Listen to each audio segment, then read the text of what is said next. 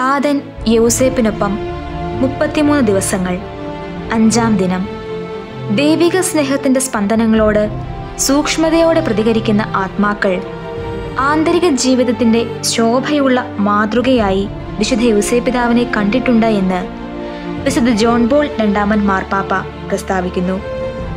വിശുദ്ധ യൗസേപിതാവിനോടൊപ്പമുള്ള ആത്മീയ തീർത്ഥാടനത്തിലെ ഈ അഞ്ചാം ദിനത്തിൽ വിശുദ്ധ യൗസേപിതാവിന്റെയും നമ്മുടെയും ജീവിതത്തിലെ പരിശുദ്ധാത്മാവിന്റെ പ്രവർത്തനത്തെക്കുറിച്ച് നമുക്ക് ധ്യാനിക്കാം. വിശുദ്ധ യൗസേപിതാവിനെ നീ അറിയണമെന്നും സ്നേഹിക്കണമെന്നും പരിശുദ്ധാത്മാവ് ആഗ്രഹിക്കുന്നു. ആത്മാവിന്റെ ഹിതം അന്വേഷിക്കാതെ യാതൊന്നും തന്നെ ഈശോയുടെ ഭൗമിക പിതാവ് ചെയ്തില്ല.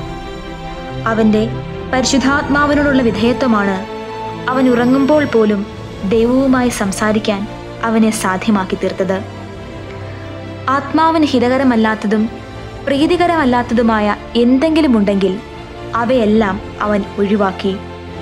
വിശ്വാസം പ്രത്യാശ ഉപവി എന്നീ പുണ്യങ്ങളും വിവേകം നീതി ആത്മനിയന്ത്രണം സ്ഥൈര്യം എന്നിവയും അവൻ പരിപൂർണമായി അഭ്യസിച്ചു.